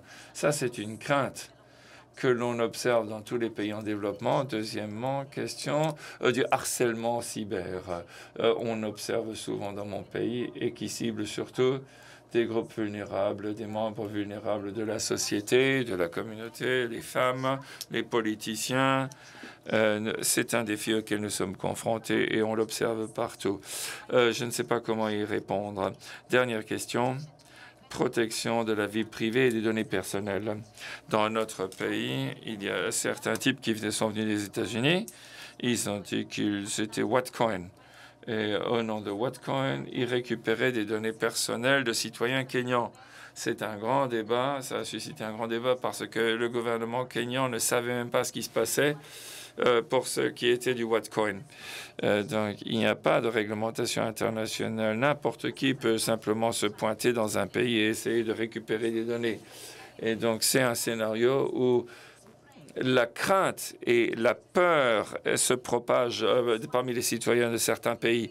Et c'est la raison pour laquelle nous avons vraiment besoin de programmes de communication, d'ouverture dans le monde entier pour que les gens comprennent. Il faut de la sensibilisation. Qu'est-ce que ça veut dire l'intelligence artificielle? Parce que les gens croient que ça peut que ça peut être une menace pour la sécurité interne des pays.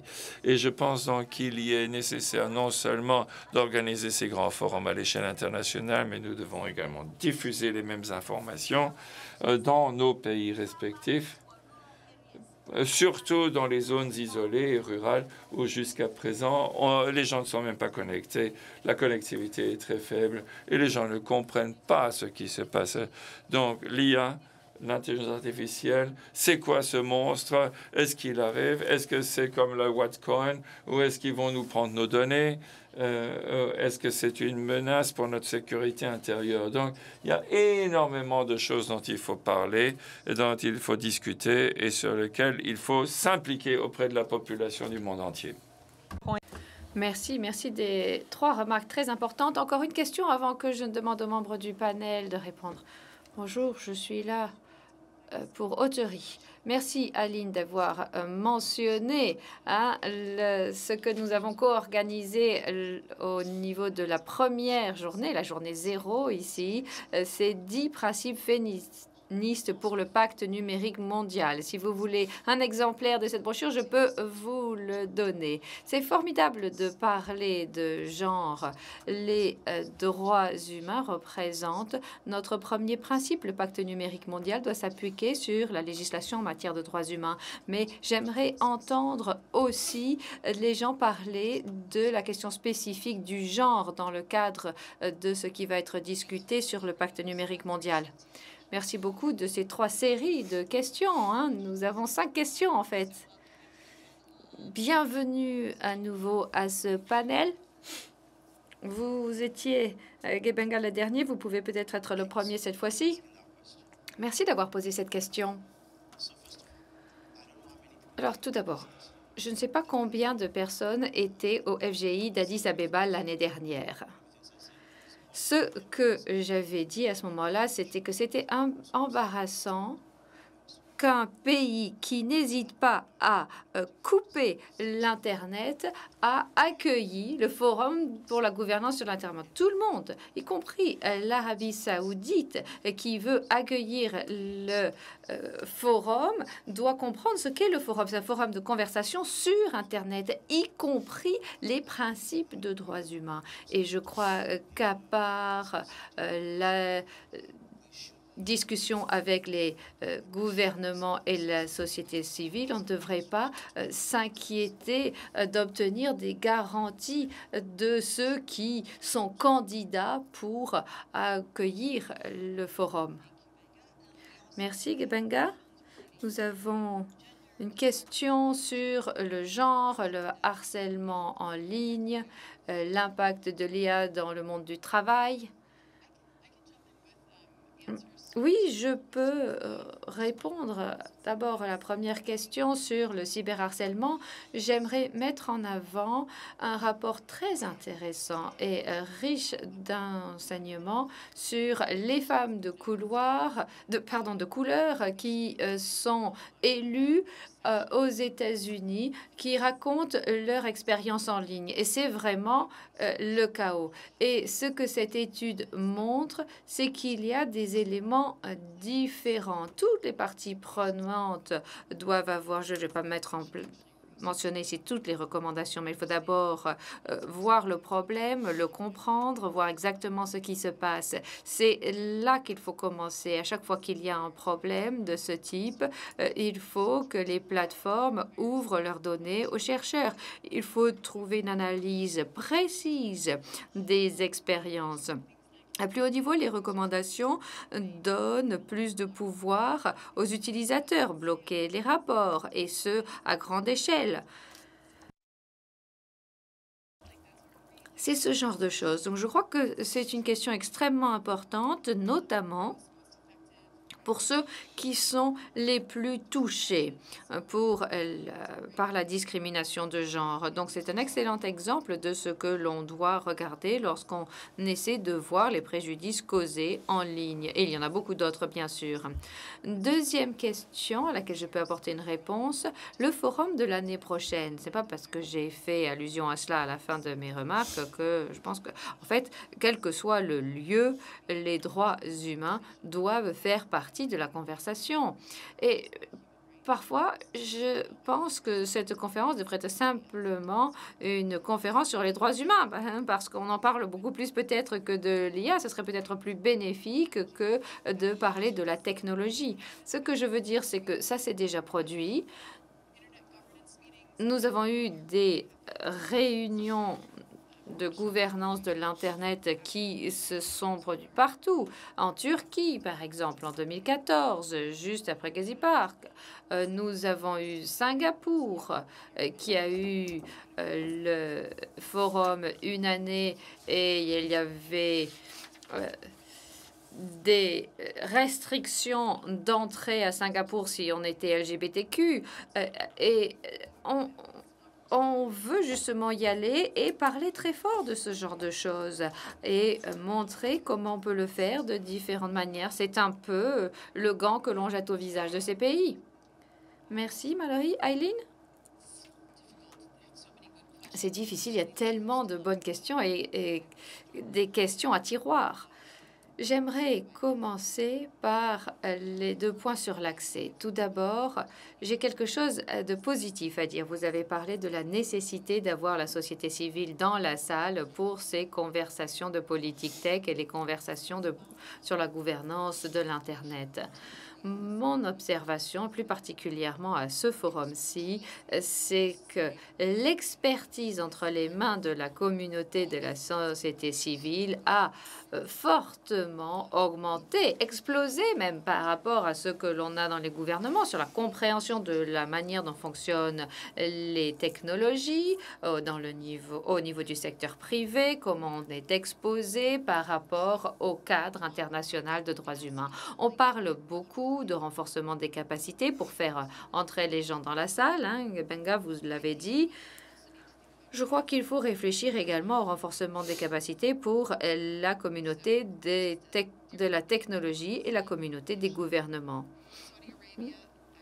L'Arabie saoudite, ou je dirais, c'est de la responsabilité de la communauté, du FGI, c'est au max et au panel de leadership, comme Mallory l'a dit. Eh bien, il faut que les droits humains soient vraiment bien ancrés à l'ordre du jour, en grosses lettres, pas cachés. Et il faut que euh, la partie inclusion soit entendu. Il faut susciter l'attention par rapport à ceux qui ne sont pas autorisés à venir. À ce moment-là, ça peut peut-être changer les choses. Et je vais revenir à la dernière question sur le genre et rebondir sur ce qu'a dit notre collègue du Kenya.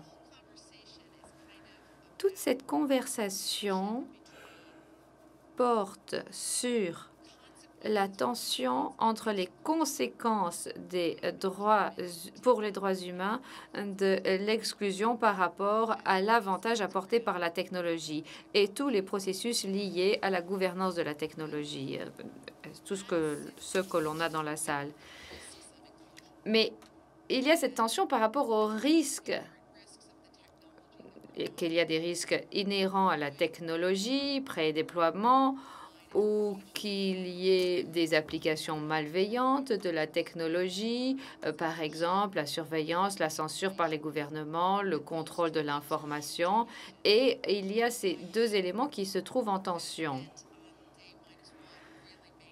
Cet événement hein, dans la journée de pré-programme au D0 euh, m'a vraiment impressionné parce que les femmes sont les plus exclues de la connectivité d'abord, mais également de toutes les autres dimensions d'inclusion significative euh, dont elles pourraient bénéficier, auxquelles elles pourraient participer.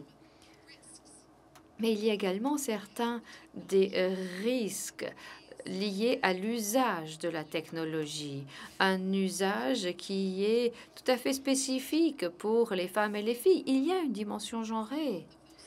Et je crois que ces deux parties de l'équation font que l'on doit parler plus fort de cette dimension genrée. Lorsqu'on parle de la dynamique, de la tension, du fait qu'on doit traiter de ces deux côtés en même temps, il faut évidemment parler du genre.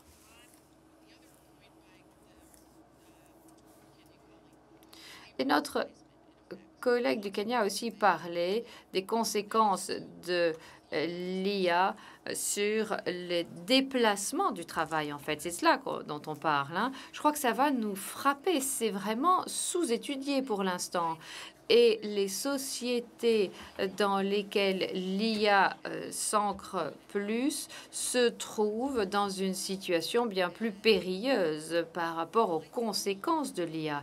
Il y a toute une communauté de personnes qui y pensent, mais ce sont essentiellement des économistes euh, ou, qui parlent de euh, différentes choses qui s'appliquent dans le monde du travail. Mais je ne crois pas que le FGI ou la communauté des droits humains se concentrent vraiment là-dessus. Donc j'ai beaucoup apprécié cette question.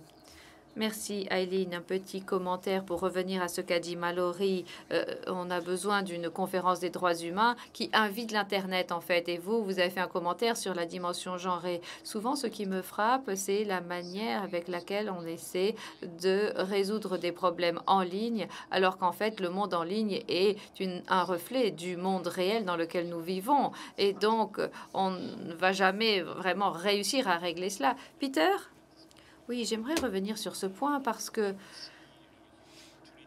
je vois d'énormes opportunités ici pour trouver des euh, solutions aux questions qui ont été posées. Bon, ce n'est pas non plus de la biologie moléculaire ici que d'essayer de lutter contre les discours de haine, les discours de discrimination genrée. Euh, euh, ce qui nous manque, c'est la volonté que ce soit de la part des États ou du secteur privé, pour vraiment que cela soit euh, l'axe principal pour l'année à venir, plutôt que d'essayer d'arriver à d'autres efficacités. Là, bon, je, simplifie à l'extrême, mais je suis tout à fait d'accord avec vous sur le fait que euh, nous n'accordons pas suffisamment d'attention à la question de l'impact de l'usage de l'IA sur le les emplois. On, a tendance à glisser cela sous le tapis en disant, eh bien voilà, c'est le marché, c'est le capitalisme, on aura le plein emploi, euh, etc. Et en fait, on voit que ça va dans l'autre direction. Et on a eu des années de croissance économique avec des taux d'emploi qui étaient en augmentation. Et ça, du point de vue économique, c'est un phénomène nouveau. Et il faut euh, intensifier, intensifier pardon, le débat entre les deux secteurs pour voir ce qui peut être fait par des professionnels. Et il y a d'autres disciplines aussi qui essaient de trouver une solution à cela. Merci beaucoup. Je crois que effectivement, il faut se pencher là-dessus de plus près. Frédéric? Oui, merci, je serai bref. Je suis d'accord avec tout ce que tout le monde a dit et, euh, au centuple. Ce qui m'a frappé, c'est euh, le commentaire sur le cyberharcèlement et l'autre commentaire sur euh, la centralité du genre ou l'absence de centralité du genre, ce qui est difficile. En fait, il faut encadrer un problème de traduction finalement effectivement, ces forums euh, sont formidables pour parler des principes, ces forums sont formidables pour euh, regrouper toutes les parties prenantes. Moi, en tant que euh, juriste spécialiste des droits humains, je me retrouve dans une entreprise dans, de la tech, un géant de la tech, et je dois toujours essayer de transformer cela en action, en processus. Et parfois, c'est technique et parfois, ce n'est pas technique. Parfois, il s'agit de politique, parfois, il s'agit de messages à faire passer aux dirigeants. Mais euh, pour le cyberharcèlement, euh, pour reprendre cet exemple, il faut vraiment commencer à traiter de cette question dans la perspective des droits humains, c'est-à-dire revenir aux principes et les objectifs et la vision commune que nous avons pour cela. Mais très rapidement, il faut passer à une politique. On a déjà une politique très solide sur le cyberharcèlement chez Meta. Malgré cela, il faut tout le temps la euh, revoir, la faire évaluer pour tenir compte des contextes, les contextes nationaux, les contextes culturels, les contextes linguistiques. Et à partir de là, il faut rapidement trouver des mesures d'atténuation pour voir comment on peut y arriver, comment on peut les concevoir, comment on peut les opérationnaliser. Et on a apporté des ajustements, par exemple, à nos politiques sur les euh, femmes sur la scène publique et on a ajusté nos politiques de cyberharcèlement dans ce cadre-là pour renforcer la protection. On a aussi la question du contrôle par les utilisateurs, renforcer le contrôle des utilisateurs et, et la transparence pour que les gens puissent avoir tous les outils nécessaires afin de se protéger. Et puis, il y a d'autres questions complexes. La langue. Alors bon, c'est vrai que on revient toujours à la langue lorsqu'on parle du contenu, mais le cyberharcèlement, euh, plus particulièrement, est un espace évolutif. Euh, et il faut faire évoluer nos politiques, et cela ne peut pas se faire sans engagement avec les communautés, sans comprendre que nous n'avons pas nécessairement le langage des communautés où évoluent ces plateformes. Donc, euh, bon, pour le prochain forum, il y a une étape supplémentaire à franchir. Trouver des moyens collectivement d'apporter des solutions particulières à ces problèmes-là. Et, nous y travaillons. Merci Frédéric. Nous avons un peu de temps encore pour entendre vos questions. Si vous en avez, vous pouvez vous rapprocher d'un micro. Je crois que l'on a vraiment travaillé sur un des problèmes soulevés par le parlementaire, c'est-à-dire les questions de protection de vie privée, la protection des données, euh, comment nous voyons ces questions-là? Moi, euh, il y a quelqu'un qui est venu ici qui a vraiment euh, posé cela le forum porte sur l'IA, mais il faut voir la question de l'IA comme une question de données. Et au minimum, l'un des éléments clés doit être la transparence. Et ça revient à ce qu'a dit Frédéric aussi. Il y a tout un autre sujet sur la manière dont la protection des données représente un élément clé de l'équation. Il y a une question ici?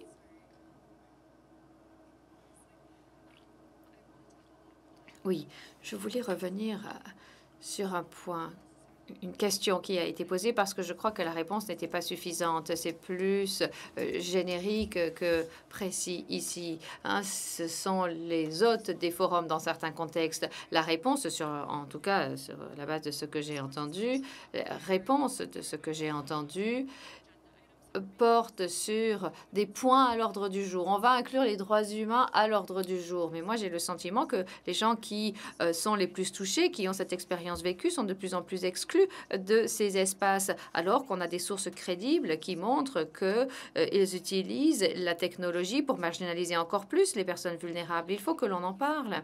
Et puis, il y a autre chose, il y a ceux qui sont exclus pour des raisons de visa. C'est un problème que l'on retrouve dans différents contextes, dans différents forums, euh, euh, que ce soit ce forum-ci ou l'ICANN, par exemple. Il faut euh, pouvoir faire venir les gens au forum on peut renforcer cela par la technologie. Il y en a certains qui peuvent circuler librement et d'autres pas. C'est un vestige du colonialisme aussi. Et à OFGI, ça doit être une de nos priorités. Il faut décoloniser la technologie parce qu'on a certains de ces systèmes qui sont problématiques. Dans le contexte africain, par exemple, on a des gens qui ne peuvent pas circuler sur leur propre continent alors qu'on a déjà des mécanismes qui existent, comme dans l'Union européenne, qui permettent la libre circulation sur tout un continent. On connaît les formules, ce n'est pas si compliqué. Les modèles existent, mais cela n'est disponible que pour certaines populations. Ce sont des problèmes systémiques euh, que l'on balaye d'un revers de main trop souvent. Il faut voir quelles sont les actions concrètes et tangibles que l'on peut mettre en place pour éviter ces problèmes plutôt que d'avoir à chaque fois ces points-là à l'ordre du jour, y compris à l'ordre du jour du forum. Hello everybody. Um, Merci beaucoup. Une autre question. Hernando du Brésil. Je représente les jeunes brésiliens et je voudrais reprendre tout ce qui a été dit auparavant parce que c'est exactement ce que je pensais. Nous abordons une perspective du Sud, des jeunes, et au cours des précédents FGI, on n'avait pas forcément suffisamment de représentants de la communauté queer. Peu de personnes transgenres. Et il y a des parties du débat qui ne représentent pas notre perspective parce que nous avons du mal à faire face à la violence contre notre communauté, non seulement en, dans le réel et en virtuel. Et c'est la raison pour laquelle je pense que ces forums doivent inclure également notre perspective et apporter davantage de perspectives jeunes et queer au débat, et pas simplement une seule fois. Voilà, je voudrais que ce soit mis en œuvre euh, pour essayer de placer vers l'avant ce mode de pensée, de telle sorte que pour l'avenir, on puisse construire quelque chose d'un peu, peu plus queer. Merci beaucoup.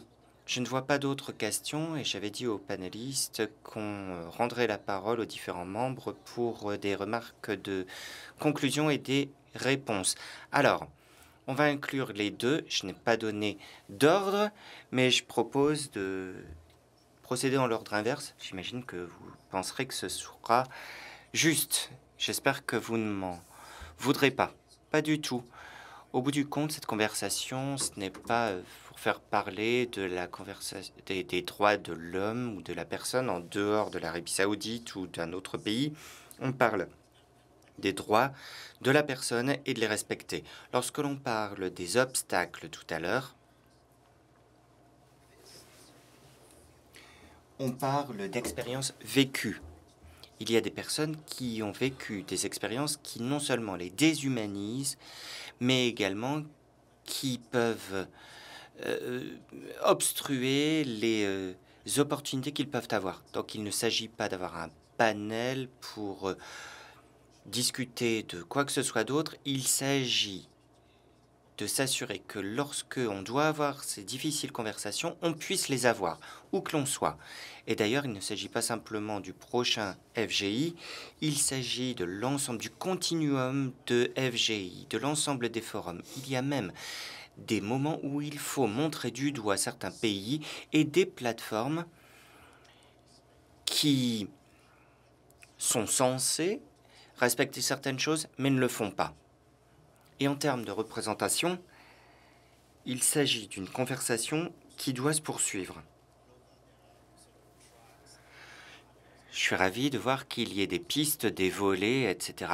Mais il faut comprendre que tant que on continue d'avoir des, conversations telles que les jeunes sont sous-représentés ou telle minorité est sous-représentée, il faut pouvoir les écouter, comprendre que ces personnes euh, puissent être incluses en fonction des directives. Je suis ravi qu'on ait pu mener cette conversation aujourd'hui et j'espère que ça ne va pas simplement s'arrêter avec ce panel. J'espère que les conversations vont se poursuivre dans les couloirs et même au-delà de ce forum pour nous assurer de faire ce qu'on doit faire. Les pouvoirs publics ont leur obligation, le secteur privé aussi. C'est bon pour votre entreprise. C'est plus simplement une question de harcèlement. Pour la société civile et pour le reste, il faut pouvoir ne pas échapper à toute conversation sur tout le monde, y compris avec nos alliés. Ah, j'aurais préféré vous garder pour la fin parce que c'était une excellente euh, remarque de clôture. À vous, Frédéric. C'est mon tout premier FGI. C'est la toute première fois que je représente Meta à un tel forum. Alors pardonnez-moi de ma critique, mais je dirais ceci. Je suis très heureux euh, de participer à cette réunion. La société a très bien cadré le sujet des droits de la personne. Euh, il a été difficile de savoir où m'envoyer parce que chaque panel, chaque conversation auquel on a participé a touché au sujet des droits de l'homme. Et c'est la raison pour laquelle je pense qu'il faut pouvoir redoubler d'efforts sur cette question, comme certaines personnes l'ont suggéré. De, mon, de notre point de vue, je pense que ce cadrage nous convient tout à fait. En même temps, j'ai participé à de nombreuses conférences cours de ma carrière, au niveau de la société euh, civile et dans bien d'autres, à bien d'autres postes, euh, il y a bien d'autres choses qui, qui peuvent être faites pour davantage d'inclusivité, pour cadrer les questions auxquelles nous faisons face, pour vraiment aller au centre même des problèmes, problèmes notamment systémiques. Et je pense donc qu'il y a beaucoup de travail à accomplir, mais je suis très très heureux de faire partir de tout cela. Je terminerai en disant qu'on reçoit beaucoup de critiques pour de bonnes raisons parfois, dans bien des cas. Je suis heureux de parler de sujets qui nous sont spécifiques, mais l'une des raisons pour lesquelles Meta a rassemblé tellement de personnes ici et a décidé d'avoir une délégation de si haut niveau au VFGI, c'est pour indiquer à l'ensemble des parties prenantes que nous sommes tout à fait engagés vis-à-vis -vis de cette discussion et prêts à avancer et à soutenir le sujet autant que possible. Merci beaucoup, Frédéric. On voudrait rendre la parole à Marie-Elsa si vous souhaitez répondre et faire des commentaires de conclusion. Merci beaucoup. Je voudrais faire deux commentaires concernant les questions précédentes en termes de la euh, concernant la violence en ligne, c'est la nouvelle ligne de départ pour les éducateurs, les journalistes, les scientifiques et surtout pour les femmes dans cette profession. C'est une question de liberté d'expression et d'accès à l'information qui est en train de passer au niveau supérieur parce que cela euh, inclut les différentes personnes qui, qui disent les vérités. C'est une combinaison de menaces, de commentaires misogynistes, misogynes, mais également de menaces qui exposent certaines informations, qui exacerbent les menaces en ligne. 73% des femmes journalistes ont été harcelées en ligne et une grande partie d'entre elles souffrent de violences en ligne. Et je pense que c'est justement l'une des questions qu'il faut pouvoir traiter. Concernant la question du travail qui a été posée, On sait que le travail va changer par le biais de l'intelligence artificielle et on ne sait pas quels seront les effets exacts en termes d'emploi. Ce que l'on voit, ce qui m'inquiète plus, c'est la manière dont certaines protections du travail sont éliminées en conséquence, alors qu'elles ont demandé des années de travail. Euh, il, y a, cela pourrait avoir un impact sur, euh, la, sur les consommateurs. Euh,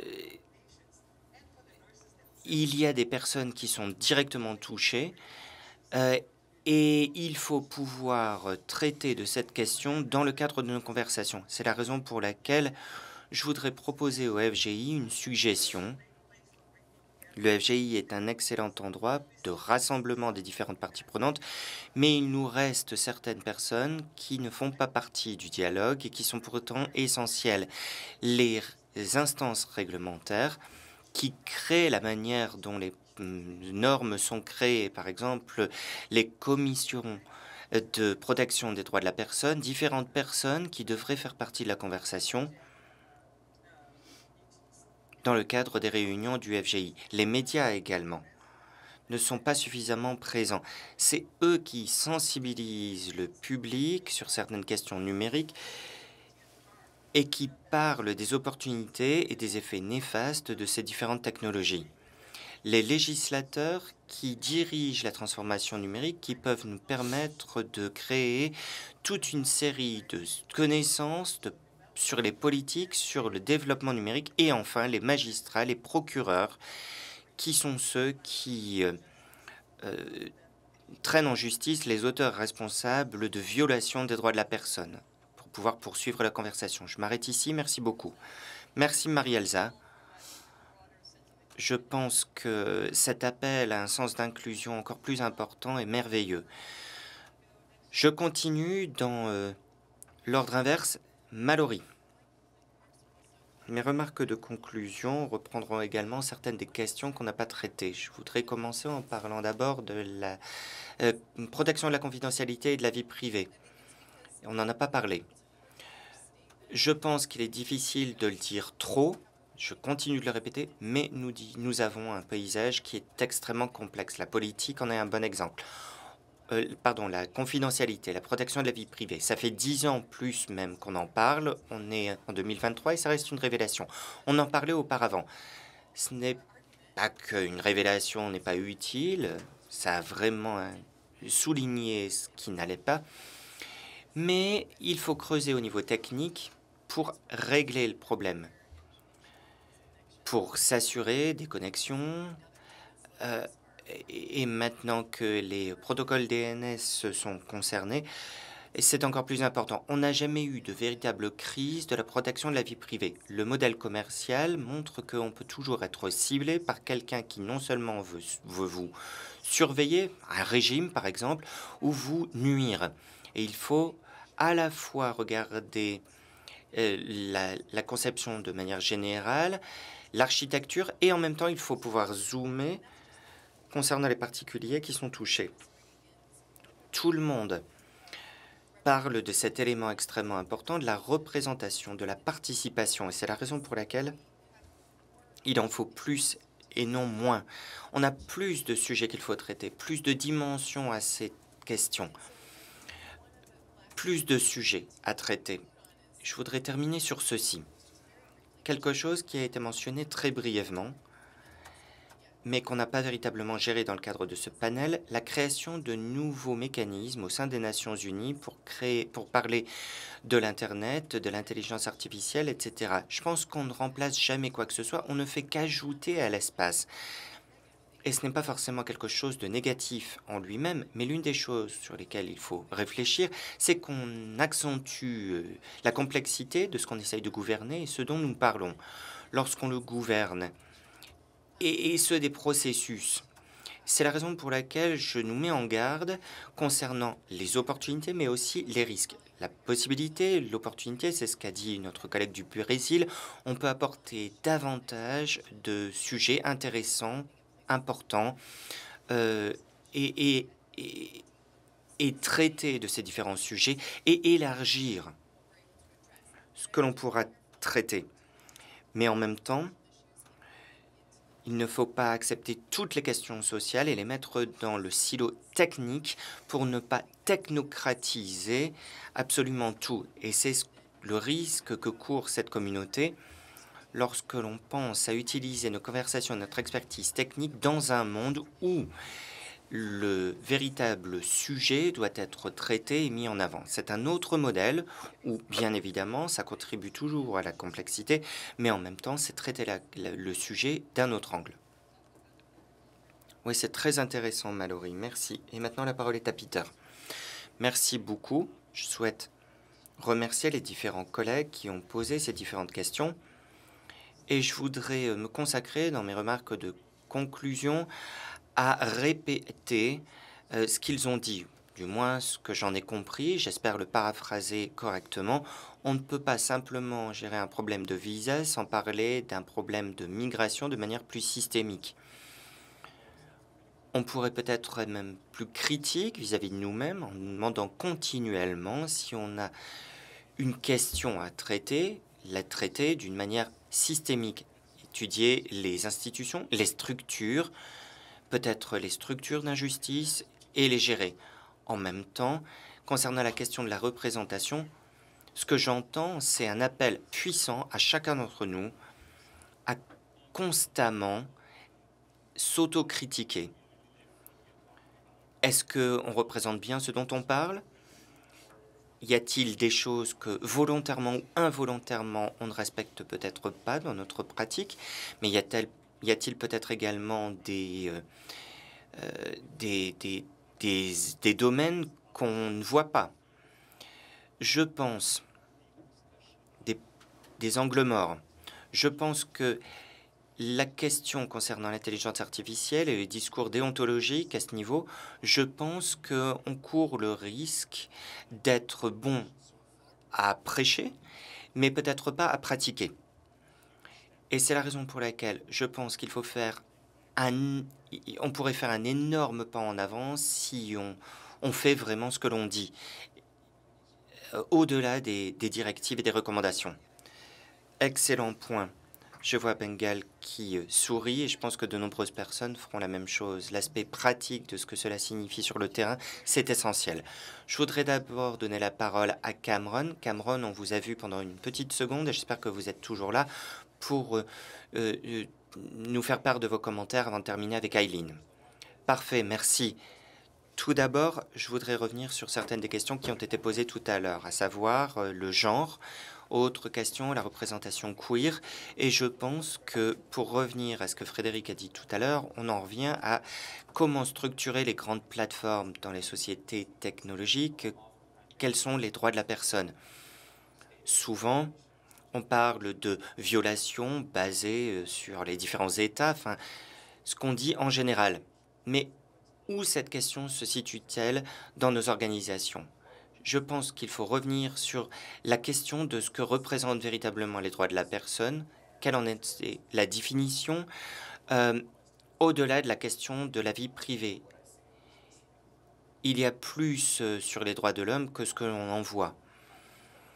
Et c'est la raison pour laquelle je pense qu'il y a des choses à faire pour essayer de comprendre ce qu'on entend par là et comment progresser. Concernant l'IA et euh, le déplacement de la main-d'œuvre, je pense que il s'agit de travailler sur ce point pour essayer de comprendre. Je pense qu'avec Wikipédia, il s'agit d'une ressource essentielle pour de nombreuses personnes des informations qui sont disponibles qu'ils ne pourraient sinon pas obtenir. Ici, je pense que l'application est intéressante parce que ça pourrait être utile, euh, intéressant pour traduire des articles dans différentes langues. Il peut y avoir des, euh, euh, des, écarts majeurs entre les différentes langues. Il y a plus de 300 langues à ce niveau. donc, quand les gens écrivent quelque chose, s'agit-il de leur langue maternelle? Il y a différents groupes linguistiques et donc développer ces connaissances pour différentes personnes pour justement euh, travailler sur ces bouleversements plutôt que de constamment rappeler la perspective capitaliste. Enfin, concernant la dernière chose que je souhaiterais mentionner, il y a des membres de Wikipédia qui sont ici présents euh, dans la salle. Ils seront là pour discuter avec vous. Et j'ai commencé en parlant de la dignité je terminerai sur ce point. Les pouvoirs publics du monde entier euh, sont responsables de la protection de leurs citoyens. Et donc même dans les régimes les plus oppressifs, euh, opprimants, on mérite tous d'être protégés. Et je pense qu'à l'avenir, il est important de se souvenir que les législations, euh, toutes les discussions concernant l'Internet, l'intelligence artificielle, continuent de nous permettre de développer, de, de partager. Et surtout lorsque nous sommes en désaccord, surtout lorsque les faits viennent à l'encontre de ce que l'on dit, souvenez-vous que nous sommes ici pour protéger les êtres humains en ligne et hors ligne y compris les personnes incarcérées, pour des questions de liberté. Merci beaucoup, Cameron. On n'a plus beaucoup de temps, donc je laisse la parole à Eileen pour des dernières remarques. Alors, dernière question ici. Benga, vous avez bien récapitulé tout ce qu'il fallait dire, l'inclusion, les risques pour les personnes du monde réel. La question qui se pose pour moi, c'est la suivante. Je ne sais pas vraiment comment la décision a été prise, des, choix ont été faits par le passé. En Turquie, en Éthiopie, en Azerbaïdjan. Alors, je ne sais pas comment ces décisions sont prises, mais euh, lorsque l'on pense à la phase suivante du FGI, peut-être que ces décisions doivent être prises à un autre endroit, avec d'autres personnes, à la table des négociations. Concernant certaines choses mentionnées par nos collègues, Peter,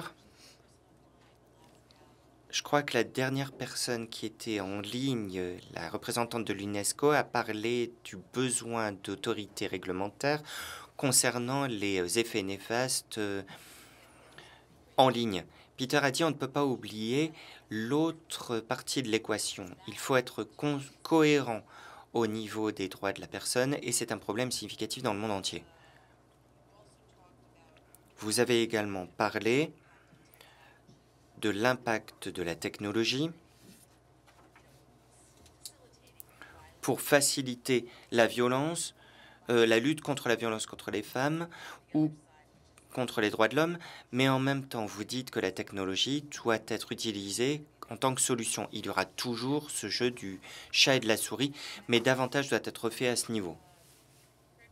Enfin, Frédéric et Mallory, vous m'avez dit, vous nous avez dit ce besoin de traduction entre la communauté de la technologie et les autres communautés. Euh, je pense que c'est un sujet extrêmement enthousiasmant et je pense qu'il y a beaucoup de potentiel, beaucoup de croissance à ce niveau. On en parle depuis longtemps, à un niveau très abstrait.